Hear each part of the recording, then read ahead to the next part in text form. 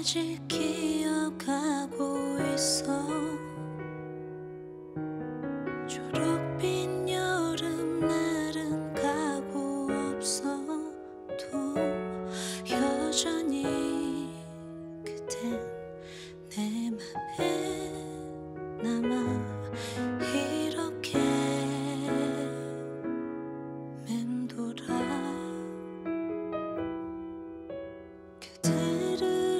아직 사랑하고 있어. 하지만 그만 놓아주고 싶어.